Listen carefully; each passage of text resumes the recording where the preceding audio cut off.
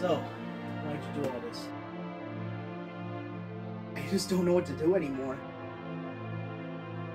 I feel terrible.